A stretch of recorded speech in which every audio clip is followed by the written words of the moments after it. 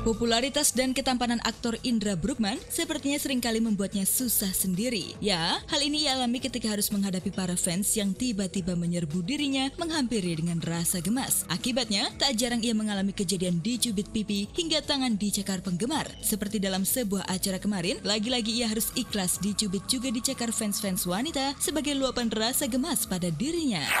Iya pas masuk karena terlalu banyak orang biasa kan begitu kan. Eh, tapi orang-orang sini masih yang sopan-sopan gitu ya nggak sampai nyakar-nyakar, tarik rambut apa segala macam. Biasanya kalau menghadiri acara-acara seperti ini biasanya kulit juga kekelupas-kelupas karena banyak cakaran, terus juga rambut tarik-tarik apa segala macam. Tapi sini kita juga masuk tadi mobil juga orang-orangnya walaupun begitu banyak tapi tertib, terus juga ya aman sih di sini Tasik tuh gitu.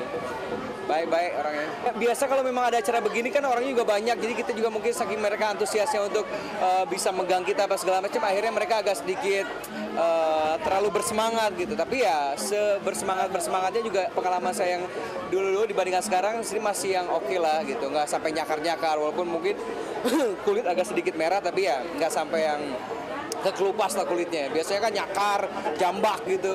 Di sini nggak aman. Sering, sering kayak begitu, sering. Jadi ya kalau misalkan turun dari mobil mau masuk ke panggung, lewatin kerumunan-kerumunan gitu kan harus pakai jaket dulu. Kalau sini segini aja udah cukup aman sih.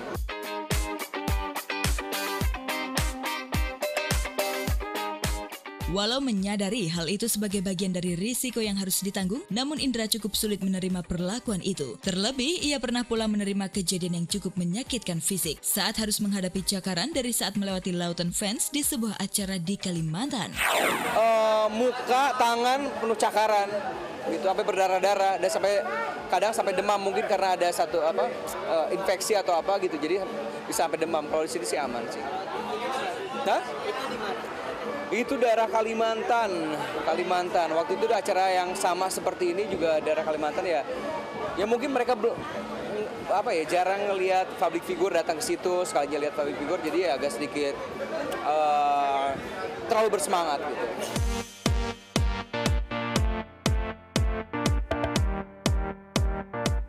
Seiring waktu berjalan, pada akhirnya Indra perlahan-lahan mulai bisa menerima insiden kecil yang mungkin saja akan terus terjadi saat menghadapi fans-fans fanatik. Bagi Indra, fans adalah energi untuknya terus berkreasi di dunia hiburan. Fans juga menjadi teman yang siap hadir dalam berbagai suasana untuk mendukung eksistensinya berkarir di tanah air selama ini.